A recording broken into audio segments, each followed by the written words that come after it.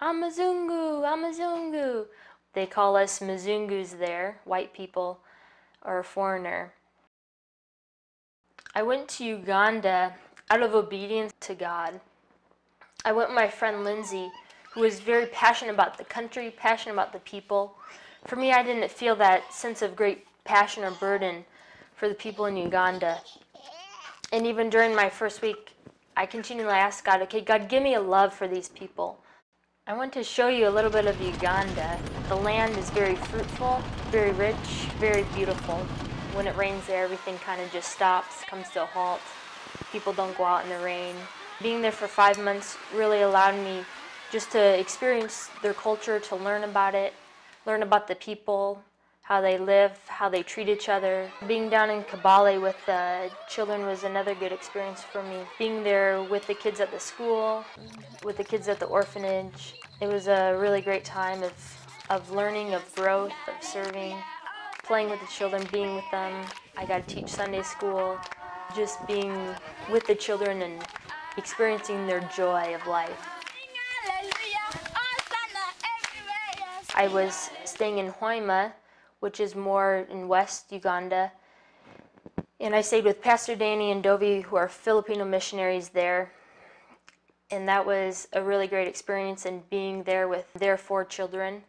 Also, I would go out to the village of Chimanenga during the week, and I would stay out there with Dr. Martin and his family. And he has a clinic out there, so I would help him. And I really enjoyed just being out there in the village.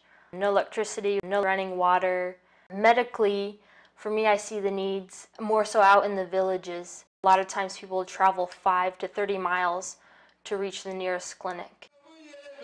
When they're at church, they leave everything at the door. Yeah, life is hard and challenging and there's many difficulties, but oftentimes they'll just come into the presence of God and just really just rejoice and are just full of joy in the midst of difficulties, in the midst of uncertainties. Some may not even know where they're going to get food for their family for the next week. But yet, in the midst of that, they're choosing to trust God during those times. So the preaching there is very vocal, very loud. People share a lot of stories. For New Year's Eve, there was just thousands of people there. Uh, it was an incredible experience. They had several different preachers coming. They even had me get up and speak for a little bit, which is not uncommon for a visitor. I really saw the need for discipleship.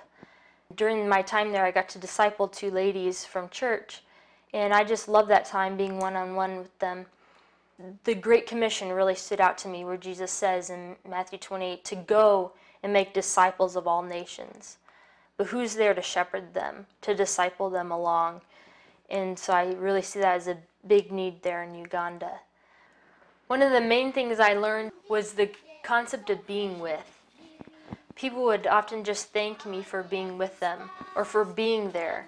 I would enter into someone's home and they would say, Thank you for being here with us. And I was always a little confused because I hadn't even done anything, I was just there. And a lot of times that's what's needed, just being there. And they were just overjoyed that I would be there with them. I want to thank all those who helped support me in going to Uganda this time, whether financially or just being in prayer for me. And I don't know when God will bring me back to Uganda, but I know someday I will go back. And I would also want you to be part of that. After spending five months with them, I definitely have a, a love for the people, a love for the country, a burden for the people, a burden for the country, but really just being where God has called me to be and being fully there. Leave the results to God, knowing that He's working in and through my life and then through the lives of those around me.